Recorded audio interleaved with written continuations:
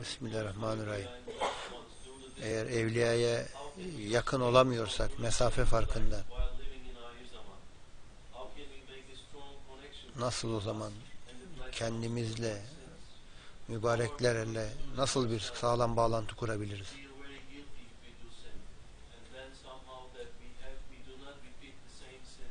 Ne yaparız eğer günah işliyorsak?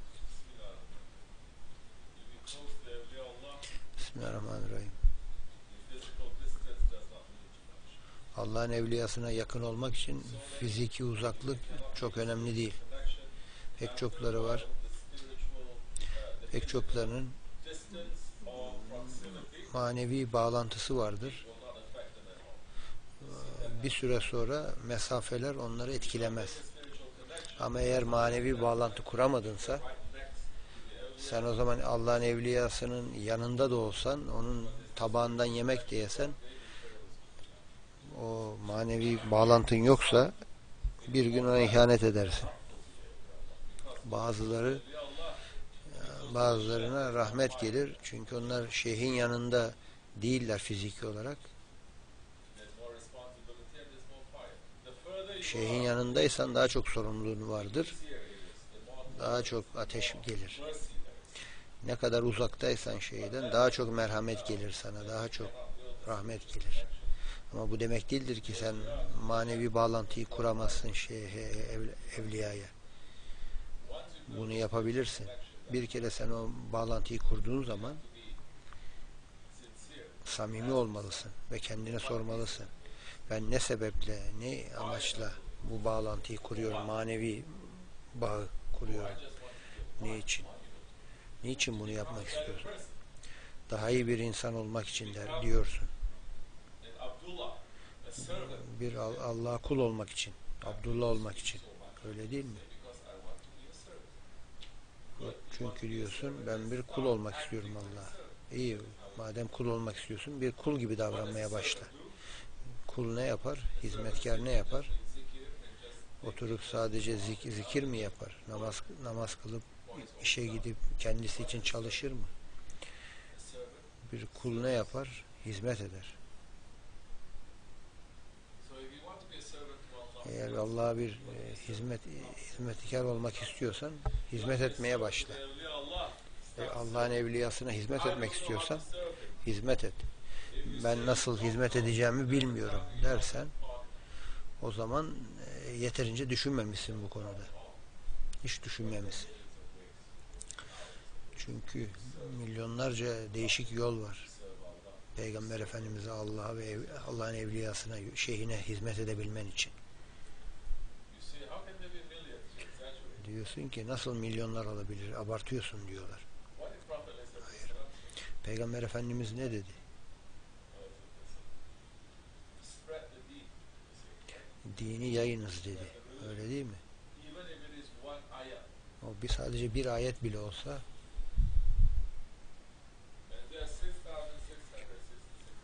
ve Kur'an'da 6666 ayet var. Milyonun üzerinde hadis var. Eğer sadece bir hadisi alıp hayatına onu uygulasan çünkü o çünkü o uygulamadan ötürü insanlar Peygamber Efendimiz'in nurunu görürler ve sen Peygamberimize hizmet ediyor olursun. İslam'a hizmet edersin. İnsanlar onu alırlar, hoşlarına gider ve onların hayatına ışık girer. Ve sen diyorsun ki ben nasıl hizmet edeceğimi bilmiyorum. O zaman düşünmeye başlamalısın. Çünkü İslam bir büyük bir sır değil. Sohbetleri dinle, hayatında bazı değişiklikler olur. Şeyhin ışığı girmeye başlar hayatına. İnsanlar sende o nuru görür ve takip etmeye başlar. Diyorsun ki ondan ondan sonra daha pek çok başka aşamalar var hizmet etmede. Pek çok şey yapabilirsin.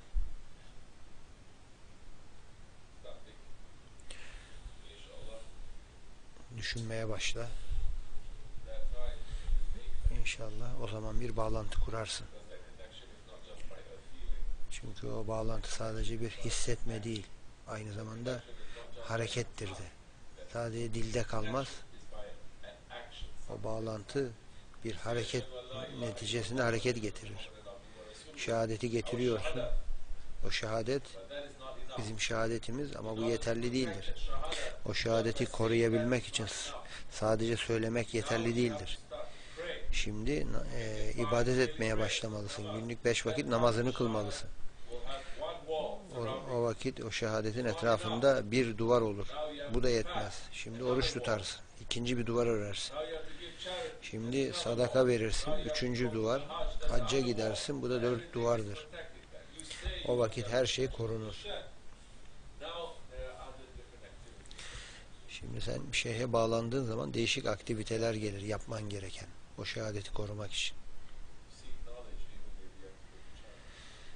İlmi arayınız diyor Efendimiz. Çin'e bile gitmeniz gerekse. Şeyh Efendi'nin müritleri o ilmi aldılar. Bu ilmi alıp Şeyh Efendi'nin müridi, e, müritleri Çin'e gittiler ve o ilmi Çin'de yayıyorlar. Her gün e, her gün 5-10 kişi oradan e, beyat alıyor bizden. Küçük bir adam ama çok aktif orada. Oturup düşünmüyor ne yapabilirim ben çok uzaktayım demiyor. Bir kere bunları yapmaya başladığın zaman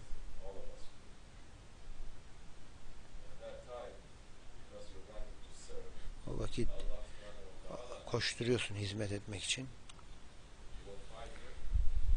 Allah subhanahu teala'yı merhametli bulursun.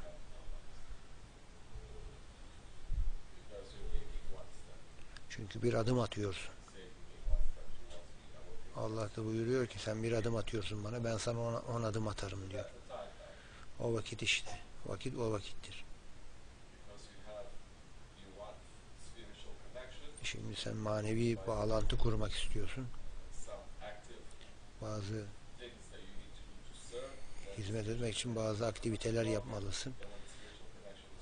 Senin ne kadar kuvvetliyse manevi bağlantın hayatımızdaki bütün o e, zayıflıklar o acizlikler, zayıflıklar denediğin için Rabbini çok merhametli bulursun. Ve o zaman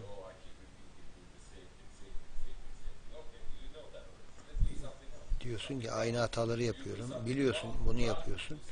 O zaman başka bir şey yap. Yanlış bir şey yapıyorsan şimdi doğru bir şey yap.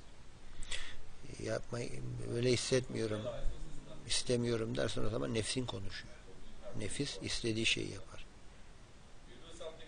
Bunun farkına varana kadar yapabileceğim bir şey yok. Bu ne nefis konuşuyor burada. Ha, çok suçlu hissediyorum bir şey yapamam diyorsan eğer gerçekten e, suçlu hissediyorsan e, bir şeyler yapmalısın. O, o